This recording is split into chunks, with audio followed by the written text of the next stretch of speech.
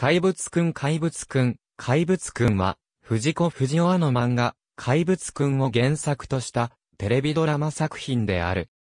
主演は、嵐の大野聡。2010年4月17日から6月12日、日本テレビの土曜ドラマ枠で放送された。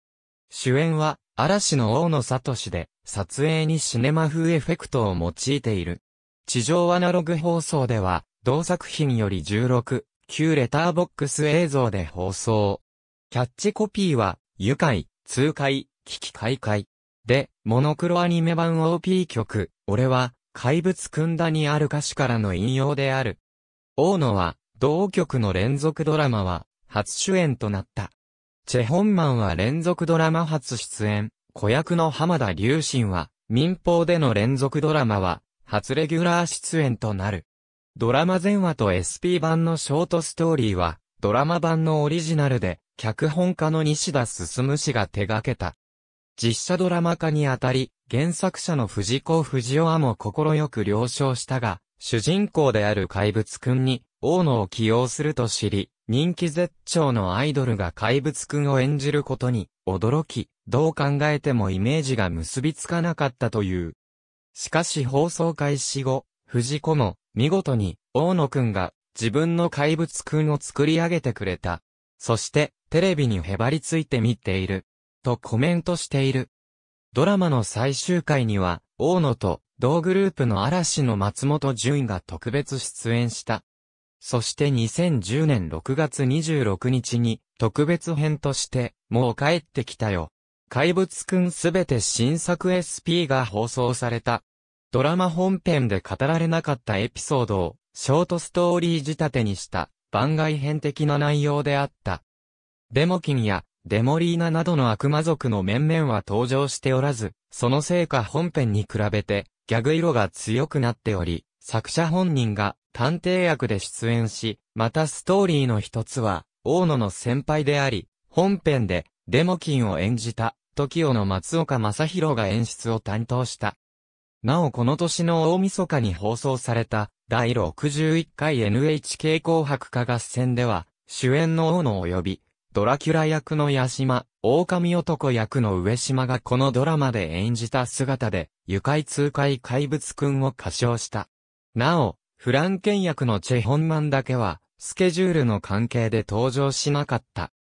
ドラマ終了後の2010年8月1日には、フランケン役のチェホンマンが2011年5月1日には、市川博士役の浜田隆信が、TOKIO の冠番組でもある、ザ・鉄腕、ダッシュにそれぞれ出演し、浜田の場合は2011年2月17日放送分の VS 嵐に出演するなど、当番組をきっかけに、TOKIO や嵐のメンバーと当番組関係者の他、番組での共演が増えている。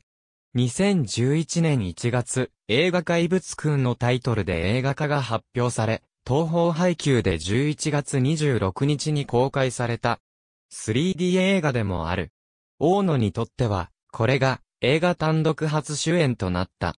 オープニングナレーションは吉田真澄が担当。は、ドラマオリジナルキャラクター。は、SP 版のみ登場した。ドラマ版のストーリーは、原作やアニメ版とは大幅に異なっている。そのため、ここでは、設定上の相違点のみを挙げる。